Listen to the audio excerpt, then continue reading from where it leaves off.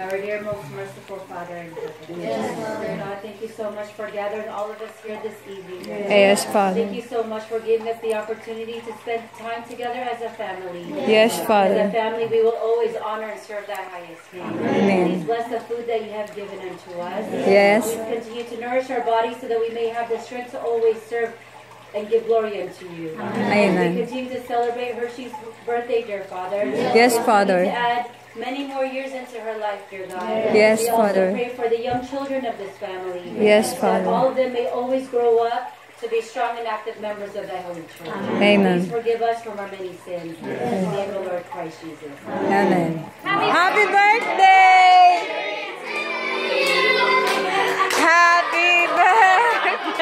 ハハハハ!